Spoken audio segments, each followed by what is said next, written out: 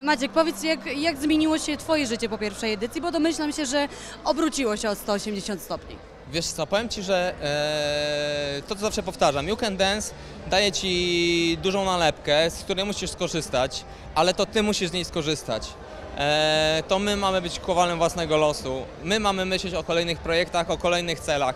Ja wskoczyłem do teatru, gdzie ta rozrywka nie zawsze jest tak mocno reprezentowana, bo to jest mój świat. E, ja robię kolejne premiery spektakli, e, jeżdżę gdzieś na różne projekty za granicę i to jest dla mnie to, co jest dla mnie najbardziej atrakcyjne. Oczywiście chętnie wystąpię w teledysku Ryjany, ale e, kłopot jest taki, że tak naprawdę to nie załatwiam sobie sam ja, tylko to załatwia agencja i tak dalej, tak.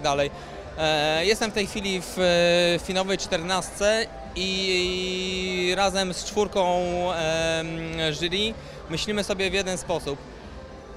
Wyfacebookować się, wysnapchatować się i wyinstagramować się i wejść w, też w tą sytuację, żeby dać więcej informacji poza tylko programem e, na tych wszystkich profilach, e, internetowych, żeby to było jeszcze bardziej ciekawe. Tyle się dzieje w Weekendensie, które nie jest pokazywane, bo tylko brakuje, bo jest tylko, nie wiem, to 60 minut, tak? My chcemy pokazać, że jest, że jest zdecydowanie więcej totalnej, totalnego szaleństwa, e, tego kiedy oni ćwiczą. E, słuchajcie, oni naprawdę ćwiczą po 8-10 godzin dziennie. E, kiedy my wchodzimy na scenę i ćwiczymy 10 godzin dziennie, żeby wyjść na pierwszego live'a, żeby się przygotować, żeby zrobić stylizację, żeby to wszystko połączyć później na scenie, przygotować kamery.